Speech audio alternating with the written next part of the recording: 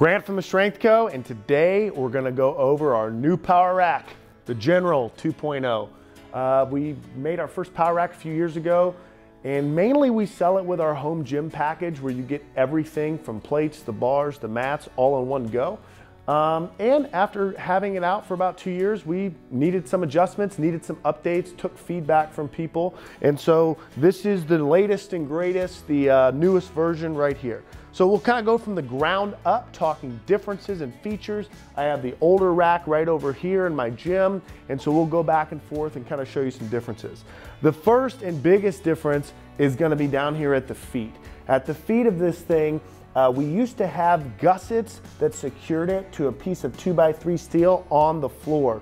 The goal of that was that you didn't have to bolt it down. But the feedback that we got from people is almost everyone's putting them on some type of deadlift platform or wooden platform and they're bolting it down anyway.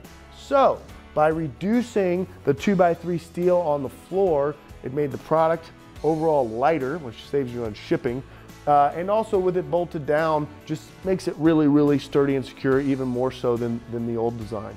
Um, bigger hardware down here at the bottom at the cross members. This is one inch, or excuse me, three quarter inch, um, grade five bolts, uh, washers and nuts. Um, pins and pipings are the same. The next biggest uh, change you're gonna see is the holes themselves. We originally did two inch hole spacing throughout.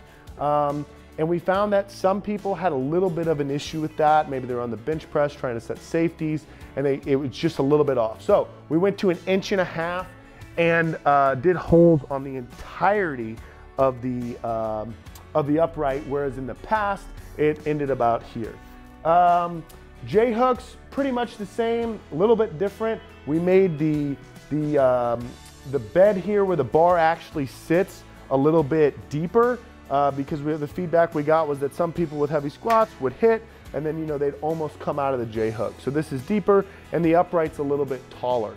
Uh, Pull-up bars are the same, same diameter, same bolt together design.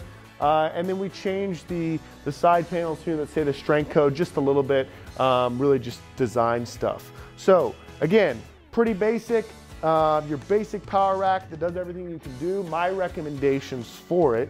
Um, would be to bolt it down. I mean, you could have this thing just sitting on the ground, but I would bolt this down. You don't have to drill in the concrete, although you can.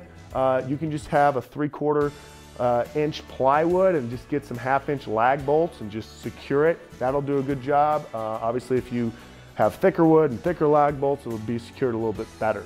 So again, that's the old design there. Inch, uh, two inch holes in the old platform. This thing much sleeker, much slimmer. Um, an overall better product.